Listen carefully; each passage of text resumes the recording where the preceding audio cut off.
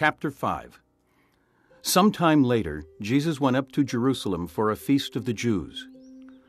Now, there is in Jerusalem near the sheep gate a pool, which in Aramaic is called Bethesda, and which is surrounded by five covered colonnades.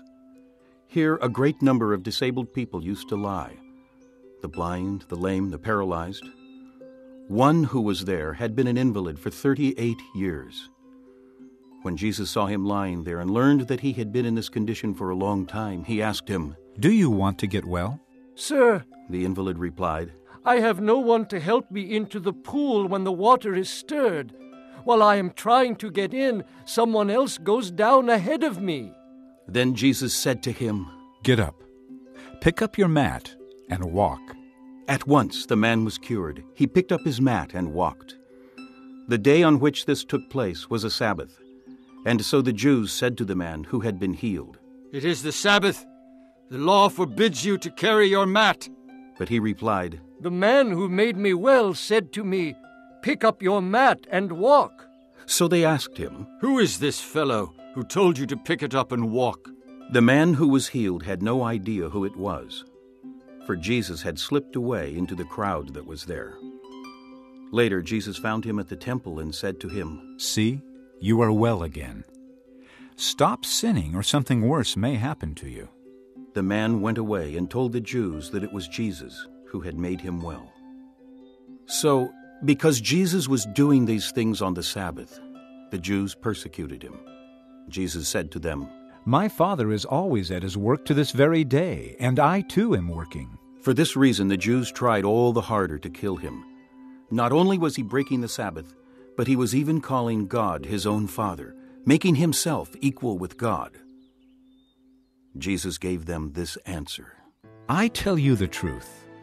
The Son can do nothing by himself. He can do only what he sees his Father doing, because whatever the Father does, the Son also does. For the Father loves the Son and shows him all he does. Yes, to your amazement, he will show him even greater things than these.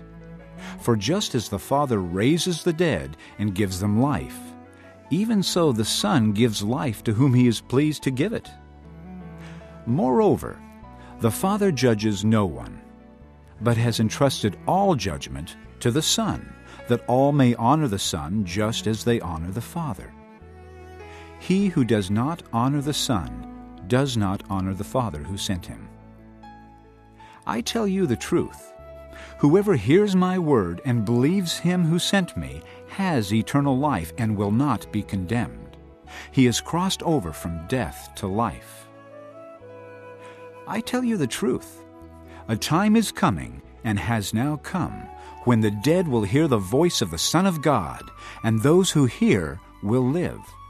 For as the Father has life in himself, so he has granted the Son to have life in himself. And he has given him authority to judge, because he is the Son of Man. Do not be amazed at this, for a time is coming when all who are in their graves will hear his voice and come out. Those who have done good will rise to live, and those who have done evil will rise to be condemned. By myself I can do nothing. I judge only as I hear, and my judgment is just, for I seek not to please myself, but him who sent me. If I testify about myself, my testimony is not valid. There is another who testifies in my favor, and I know that his testimony about me is valid. You have sent to John, and he has testified to the truth.